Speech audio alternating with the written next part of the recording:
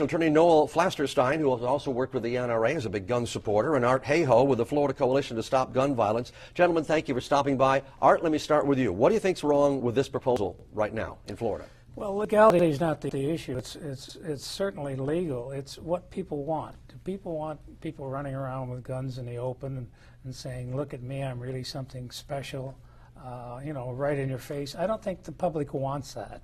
Now, in other states, there are 43 states that have this law. Are they doing that now? Are they running around saying, look at me, or not? Some of them do. I mean, uh, I've heard stories where people come into Starbucks carrying guns and just irritates the people in there to no end. We don't need that. Okay, uh, Noel, 43 states do have similar laws on the books. Does this pass constitutional muster, in your opinion? Without a doubt, I think the uh, the bill being proposed uh, uh, would pass constitutional muster. But even further, I don't think the states, uh, any state, whether they allow open carry or do not allow, uh, I don't think they really have the right to be regulating that because I think the Second Amendment clearly establishes that every citizen of the United States, no matter what state they're in, does have a right to keep and bear arms, whether Well, open or concealed. Then why isn't that law challenged?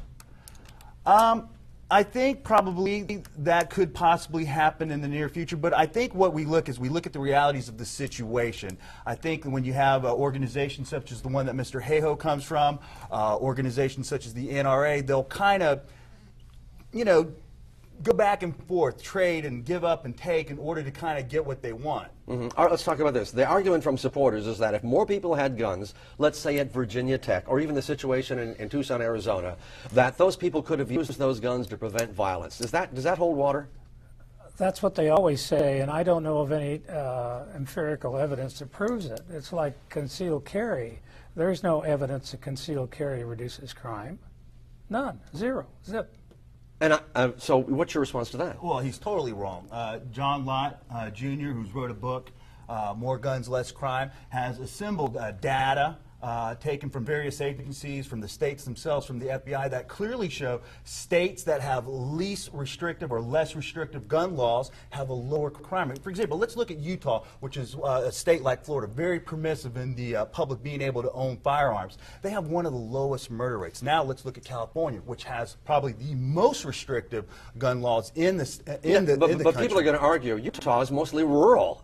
And California and Florida, we have a lot of big cities. And big cities tend to have more crime uh, done with handguns than in these other rural areas, right or not? This data is taken per capita. So it's not just a, you know, let's look at it uh, individually in that sense. Let's look at, for the number of people, the murder rate as it relates to the population. And that's what you, here in Florida, before concealed carry in 2005, we became a, what they call a shall issue state. Right, yeah. uh, we had the second highest murder rate. Mm-hmm. Our, our murder rate has significantly dropped. If we look at uh, the recent Supreme Court case of D.C. versus Heller, in that case, that the Supreme Court overturned a gun ban that D.C. had in place. Okay. Their murder drop, uh, their murder rate dropped 36 okay, Art is shaking his head. Uh, you don't believe this. That must be why Florida is one of a half a dozen states with the highest rates of violent crime every year. There's also the argument that some people say that if you had open carry laws that everybody would have guns, that means the bad guys could just come up and take the guns away from the people. Yes? No? It's a strange argument, you know. Uh, you know, more guns make you safer.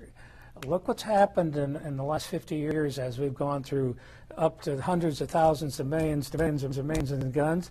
Did crime go down? Crime went up. And we apparently have more murders than almost any other civilized nation in the country. But how do you get people to separate this issue from the Second Amendment? Because the Second Amendment gets held up so strongly that people don't under, get beyond that. Hey, the, the Second Amendment is a federal law. It does not apply to the states. The states can control guns any way they want, and they always have, and they probably always will. Where do you think the public stands on this? Well, I think they're I think they're concerned about crime and gun safety, and, and you know they want to have a gun to defend themselves. Fine, go buy one, but let's let's let's have some responsibility here. Uh, you can go buy a gun, and you want a handgun in Canada. I'll tell you what you have to do to, to own that handgun. And the gun and the person has to be registered. Can you imagine something like that happening here? The uh, last argument, Noel, I'm going to give you the final word on this, is that basically we don't want Florida to become the wild, wild west. To be honest with you, I don't want to be sitting in my lunchroom and have somebody showing me what kind, he's got a new Glock 9 in his hands. Exactly. You know, first of all, the the uh, characterization of the Wild Wild West is incorrect in and of itself. Um, the uh, I was actually watching a program on the History Channel, and they do Mm-hmm. great shows. And one of the things they were talking about was cowboy fatalities from shootouts in the Wild Wild West. In the West, encompassing California, Yeah. New Mexico, Texas, quite a large area. Sure. The average mortality from a gunfight was one a month. Uh, the thing is, when we have an armed society, we have a more polite society. If I'm a would-be criminal and I'm about to approach a Starbucks and I see everybody's armed, that's not the place I'm going to rob. I think, first of all, criminals don't carry their guns out in the open. Right, they right. carry them concealed. FBI statistics back that and support that. Mr. Hayhoe is wrong. There is data that shows more guns, less crime. Mexico, Brazil, Okay. very restrictive gun laws, high, terrible murder rate. You know, I don't think we're going to solve this issue today. I thought think we so. were. Uh, gentlemen, thank you for stopping by, and we'll continue to follow this subject with great interest. Thank you. Thank you.